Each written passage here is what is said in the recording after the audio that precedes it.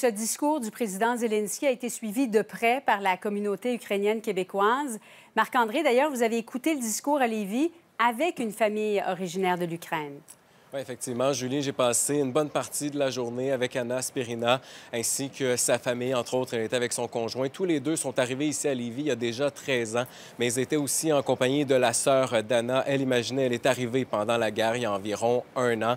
Alors, euh, vraiment, la famille qui a écouté euh, ce discours avec attention, ils étaient surtout fiers de voir leur président ici en sol canadien.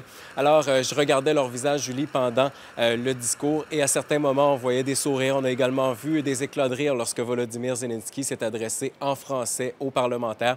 Mais à certains moments, on voyait également la tristesse sur euh, leur visage parce que vraiment chacun des mots utilisés par euh, le président les a vraiment euh, touchés. J'ai pu recueillir leur réaction quelques secondes après que le président a eu terminé son discours. On les écoute.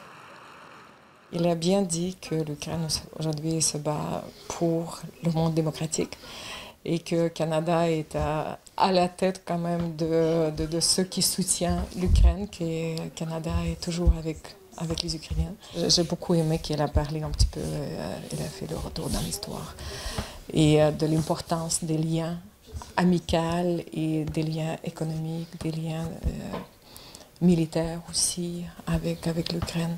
Il trouve des bons mots toujours. Il dit vrai. Elle dit vrai. Je suis fière, je suis fière toujours par mon président. Et Julie est sur place à Ottawa cet après-midi. Il y avait une petite délégation qui provenait directement de Québec. Il y avait entre autres Chante Bérubé.